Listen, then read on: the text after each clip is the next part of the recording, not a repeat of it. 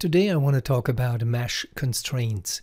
It's a very sexy way of animating motion, complex motion, of course, because MASH deals with complex uh, instances. So uh, let's go to polygon modeling and create a sphere. And in order to keep the geometry nice and simple, we click on Polysphere 1 and reduce the subdivisions of that sphere. Here it is, it looks quite complicated. Reduce them to say 5 by 5. It still sort of looks like a sphere from the distance, but um, it's, um, it's much simpler in geometry now. Now let's go to the MASH network, which you also find under FX. Here is the MASH um, menu set. So you have this selected and click here and then it creates uh, 10 instances of the original and the original is hidden here. And we actually uh, select it press the key R in order to scale it down. You see um, we still have the influence here for scaling. Um, now um, here is the MASH node, the main node, where you have all the options. And the first option we want to use is the distribute which all already comes with the uh, basic MASH distrib distribution network here. Currently set to linear, let's set it to spherical. So it's basically the, uh, the 10 objects are now arranged uh, in a sphere. It currently num uh, number of points is 10. Uh, let's say 200 and then we can see the structure of the sphere and uh, here are the angles and the radius etc which I can uh, change accordingly.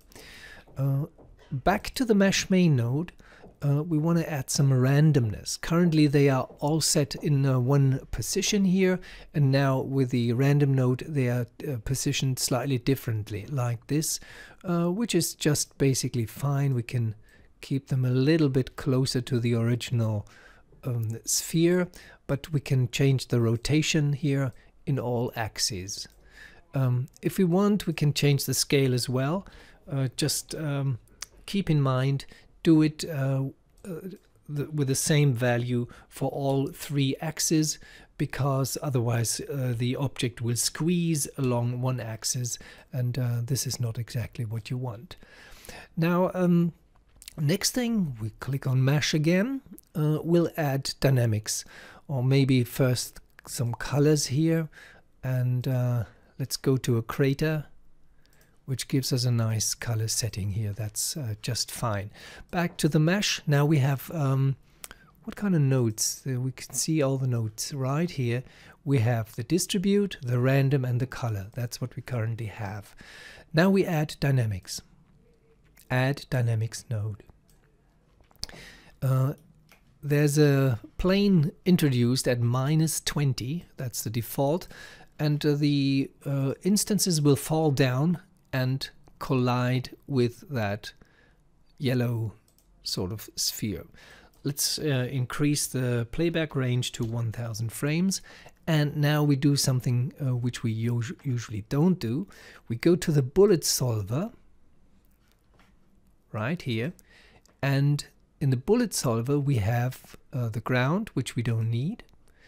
And we have the gravity of minus 9.8. And we reduce this to zero. So what the dots now do is they don't fall to the ground. They just try to keep a distance from each other. They feel each other. And um, so they slowly move outside away from each other.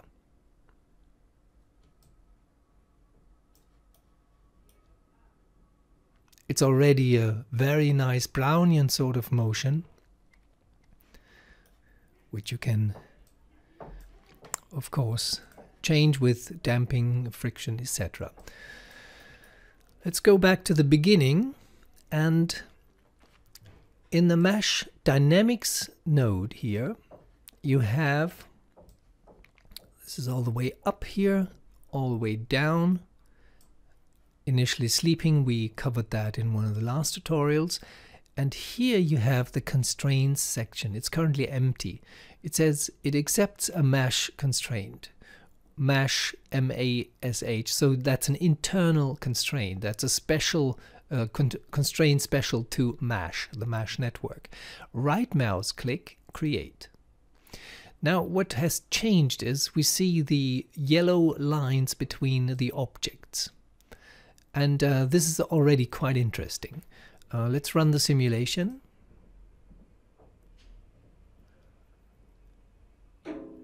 And you see it's totally different because they stick to each other through that network of yellow lines. Where are the yellow lines? Well, you need to double click the MASH constraint and here you find the glue. If we disable the glue and run the simulation, we have the same effect as before, that Brownian sort of motion. When we enable the glue, that's what we have. So they're glued very strongly to each other, and since they don't have a gravitation, they just fall into a rotational process. Now, um, let's change the glue behavior. The glue, um, first of all, it's breakable, it can be breakable. Currently, it does not break. Um, let's uh, activate breakable. Totally different. You see the glue network in the center is still glued, gluing the instances to each other, but um, the further they get out and away from each other, the more single objects you have. This, of course, can be regulated. The breaking threshold is currently set default uh, wise to 2. So uh, we can re reduce this or extend it, say, to 10. It will result in a totally different behavior.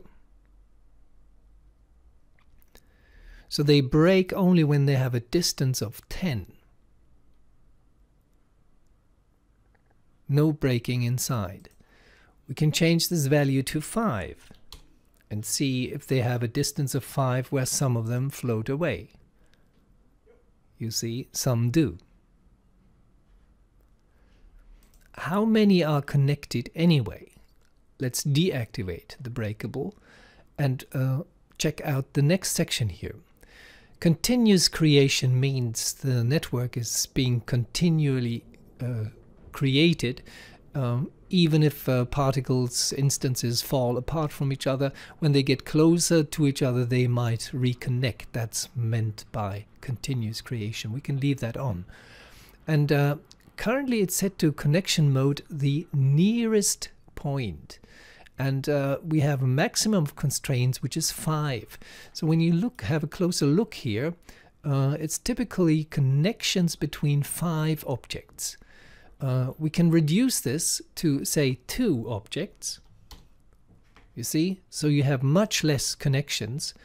And uh, the connections are within a search distance. Currently the search distance is 5 if we increase the search distance like this the distribution is different.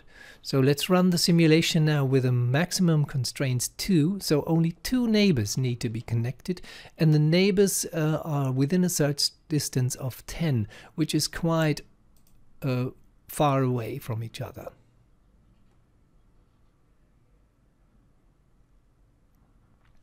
Here you see lots of triangles now, and the triangles basically mean they have maximum two contacts.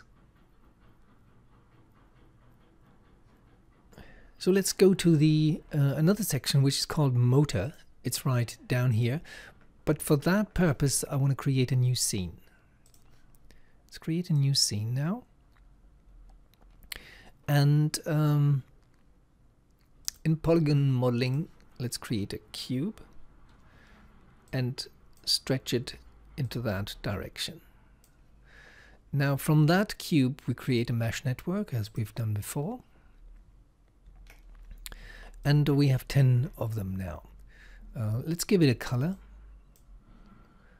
and well this time maybe a mountain color which is not really interesting. A bit brighter like this. Um, the um, MASH node is here and we add dynamics and uh, we have that ground floor they fall down on the ground and they stay there. So let's extend the playback range to 600 frames. Nothing really special will happen uh, other other than the objects falling down. Now um, in the dynamic section you can add a constraint just as we did before. Right mouse click create so we have a constraint now which doesn't do anything really. It's that connection here the the yellow lines which we've seen before. Let's double click on the constraint and we have a glue here. Let's change it to custom.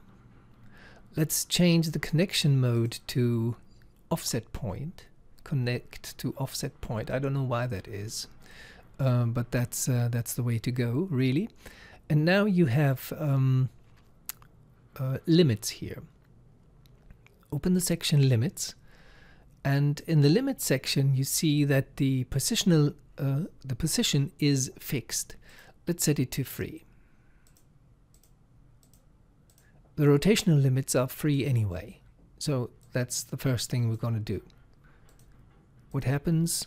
Basically nothing else all I see is uh, the the connection uh, things here, which uh, don't uh, play a role here really. Now we want to go to the uh, rotational motor. And that's why I stretched them a little bit longer, because the motor is starting to work now. Let's open that section and enable the motor. Any changes? No. But how about the target speed 100? It was set to 0, now it's 100. And now you see the motor working. The motor is rotating in that axis, in the x-axis. Let's uh, go to 0 here uh, and go forward in the animation. When they settle down here, frame 80 sort of, that is in my case. Now let's keyframe the target speed in X. One frame further will increase that value to 100 and set another keyframe. So it's jumping from 0 to 1 very drastically. What happens now?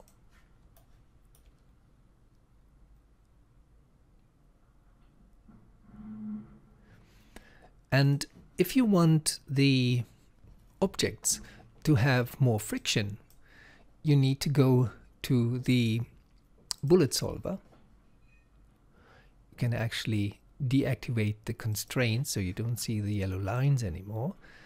And uh, here you have the friction. Let's see how this affects the situation. Now back to the dynamics section here. And here we have friction as well. Let's increase that friction value here.